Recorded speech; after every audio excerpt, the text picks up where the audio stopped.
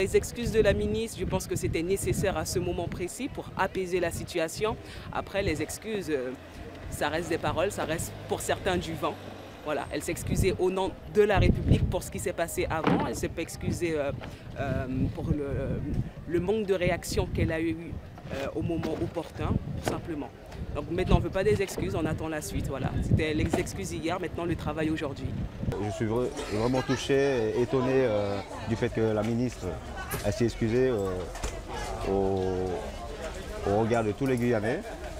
Que je pense que moi, j'y crois qu'avec cette excuse, elle va pouvoir Les excuses de la, de ministre d'Outre-mer, c'est que voilà, ça démontre bien que la France ne s'occupe pas de notre département, malgré nos élus qui ont fait des alertes à plusieurs reprises euh, au niveau de l'Assemblée, euh, que notre population est mise à l'écart sur l'ensemble euh, du territoire.